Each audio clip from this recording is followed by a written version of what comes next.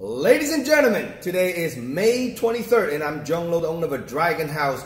Right next to me, we're having a MMA veteran, um, Christian Espinosa.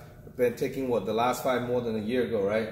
Uh, almost a year, yeah. Almost a year ago now. It's finally get back into the, the fight game.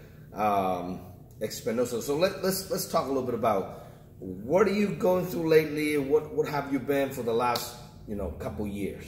All right, so uh, past couple years I was focusing on uh, my nursing career. So I finished school, graduated last year, got a job recently. Um, happy to be working at San Francisco General Hospital.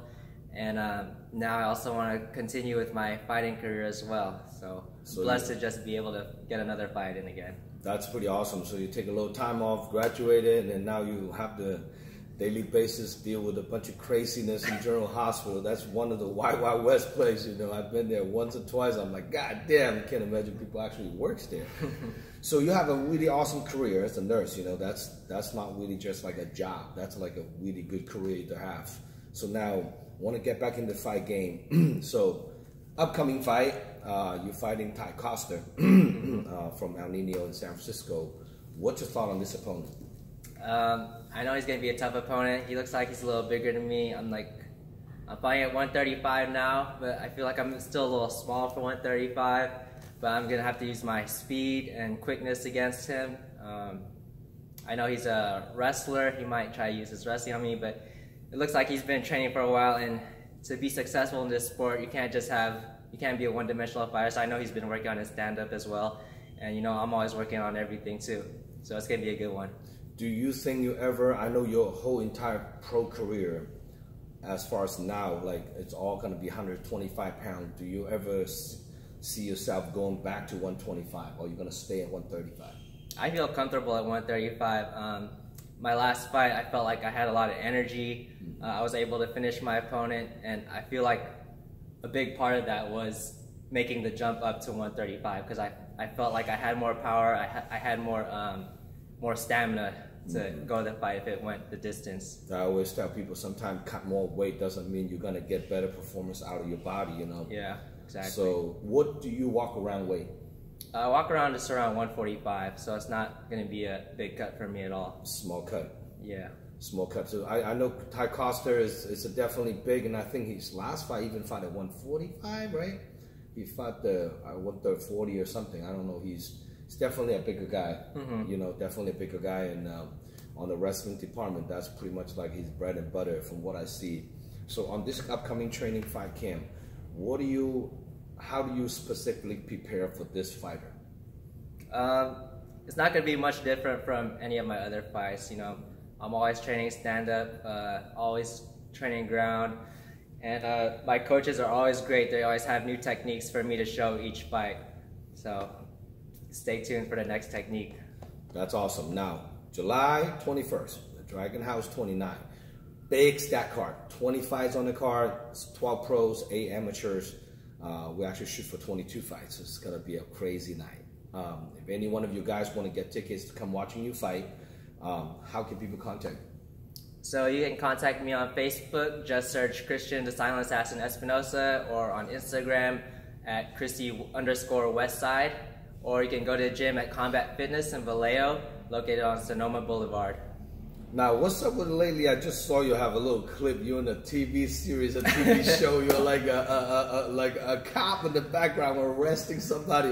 What's up with that? Are you gonna be an actor or Uh, something? no, it's just a little uh, background thing while I was still looking for work. Uh, there was this, uh, they're looking for background actors for this 13 Reasons Why show on Netflix. So uh, I was lucky to be chosen as one of the uh, background police officers. So that was That a pretty neat, neat experience. That's pretty cool. They'll actually like put a handcuff on uh, one of the actors. Yeah, one of the actors. It was cool. All right, MMA fighters coming into the movie scene. You know Do it all. That's pretty awesome.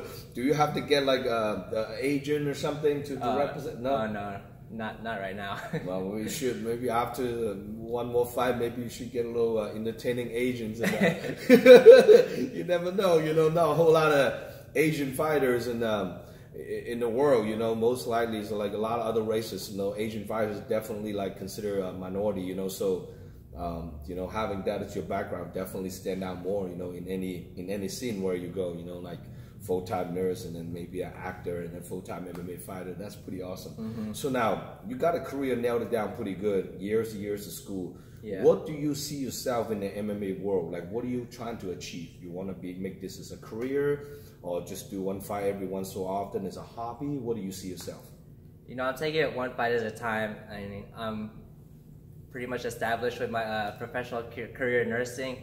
But you know, I keep coming back to MMA. You know, this is my passion. I love this sport. I mean, right now, of course, it doesn't pay a lot of money, but this is just what I love to do. So I can't, I can't stay away from this. Yeah, there's something you can't really get away with it. That that the yeah. edge you in the cage. Now, any sponsor, uh, special people you want to shout out to on your fight cam, on your coach? Anybody want a special shout yeah, out? Yeah, shout out to uh, my sponsors: Encore 32 Dental and American Canyon. Shout out to 3C Construction, to Summit Healthcare, and uh, Peace Clothing Design.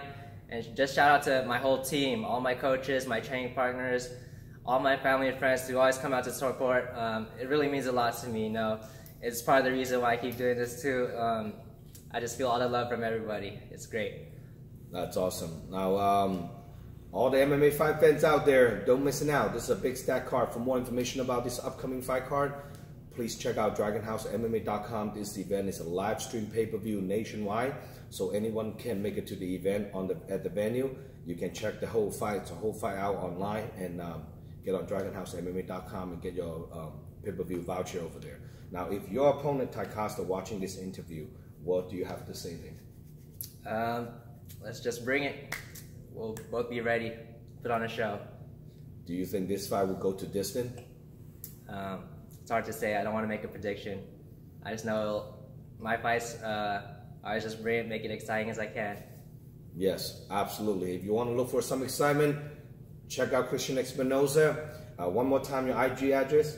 IG, uh, Chris E underscore Westside. West Side, yeah. whatever it is. All right, come check it out, guys. Uh, July 21st. It won't be disappointed. The Giant Stack card. Uh, $50 ticket on general start off and uh, well worth it. We got alcohol, good food, cheeseburger, hot dogs, all the good stuff. And uh, come check it out. Good to have you on board. All right, thank you so much for having me again. Appreciate it. Peace.